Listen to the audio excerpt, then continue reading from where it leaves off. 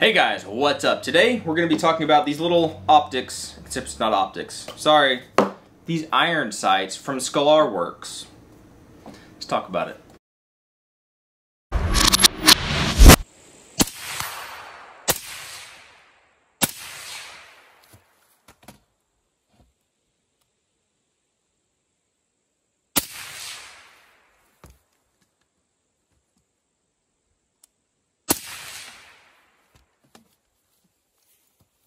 Okay, yes, I think I said that wrong. Um, I think I, I tried to say it wrong. I don't know if that is how you say it, then cool. But I'm gonna call it Scalarworks or Scalarworks. I don't know how you're supposed to say it, but these are awesome. Okay, and first, huge, big, huge shout out not to them because they didn't send them to me. You know that'd be cool, but these are these are expensive little iron sights. But my buddy that my brother and I both affectionately refer to as, and with no form of, of, of disrespect, Mr. Robert California. You know who you are. You're an amazing guy.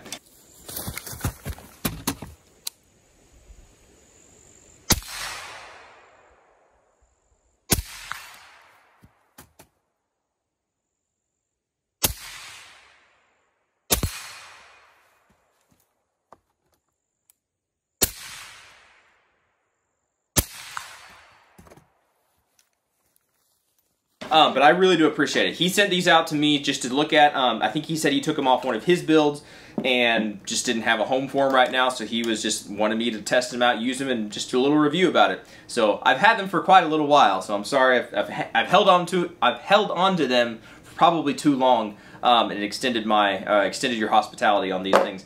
But I'm trying to say these are awesome, and I really appreciate it. Um, but these have done their job very well. Now, what all can you really say?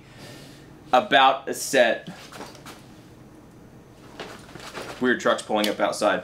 Anyway, um, thankfully I don't have a dog, so I think we should be good. Um, what all can you really say about iron sights, right? What all really is there out there? That, that, that's kind of one of the reasons I've put off doing this whole review, because what all can you really say about iron sights, right? If you want to know all the statistics as far as the weights and everything, I'll, I'll try to throw them up somewhere um, so you can see.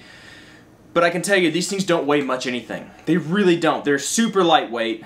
From what I can tell in, in mounting them, I've never had them come loose, right? They even come, from what I can tell, unless he bought this separate and sent it with it, with the little tool, like a legit tool to lock these things down. Like you could chuck this thing up in your drill, which I have a feeling you could over um, over tighten things and strip stuff out. But that's cool, right? They didn't send some flimsy little screwdriver.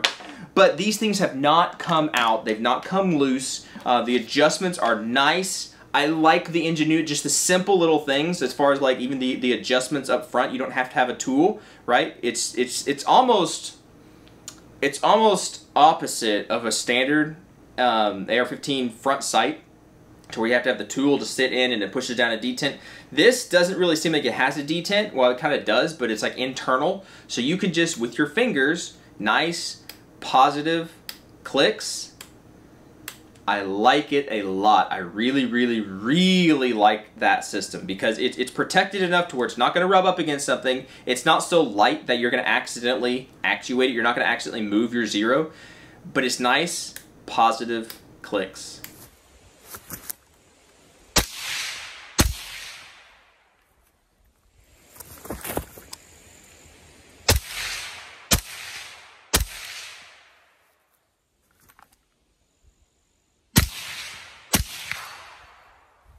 Right? I really like that. Even that in of itself is like, why didn't anybody else think about that? Maybe they did.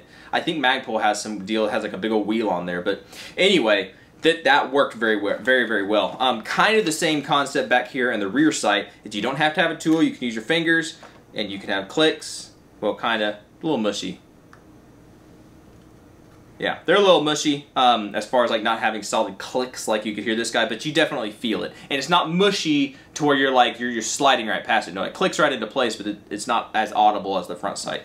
Um, but just like your regular rear sights, your regular AR-15 rear sights, you have, you know, the small aperture, the small, I said that backwards, the large aperture and the small aperture for depending on what you want to do, if it's night vision or if it's nighttime or low light, right? If, if you're trying to be really precise, long distance, short range, whatever, whatever, whatever field you want to say that they're used for, it has those options right there. And as like some cheap sights that I have used before, you can switch all day between the two apertures and you're not going to be moving your zero because I have had some optics, some rear sights. Granted, they were cheap stuff, so I didn't have high expectations for them. But you would do that, and you would be, you basically be, be you'd be adjusting your sight, you're adjusting your windage, right? It would, it would screw itself all the way over to one side. And like, well, I hope you, hope you knew where it was supposed to be because it was going to be messed up. These guys don't do that.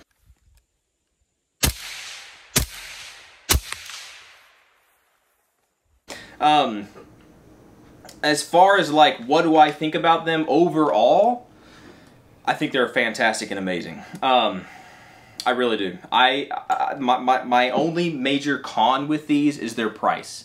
Knowing that these things sit around the $250 mark, that to me is just a little bit pricey. For what they are, like I, I get it. They're super well machined out right? These things, there's a lot of, of development that goes into this. This is not just a standard, like, just blocky stuff. No, these are cut out to, to, to take away the weight. I'm sure there's a bunch of science and stuff that went into these things to, to, to get the dimensions right, right, and the structural integrity of these things right. I didn't beat them up, right? I didn't try to ram them up against things and scratch them up because they're not mine. I'm not going to do that um, to, your, to your sights and stuff. So you know, I didn't go that far as far as trying to bust them up. But these did make it through the Warrior Poet uh, pistol, well, I didn't use them in the pistol class, but rifle 1 and 2, they worked great. They worked fine, right? So as far as reliability, they're boringly reliable. That's why there's hardly anything really bad to say about it. That's why this is like, I'm still talking, and you're like, well, why are you still talking? Well, because I feel like there's something else that should be said,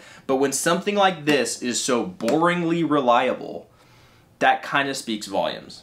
All right. I hope that really makes sense. I hope that does. If these things were more like 150 bucks, that'd be a lot more palatable for me.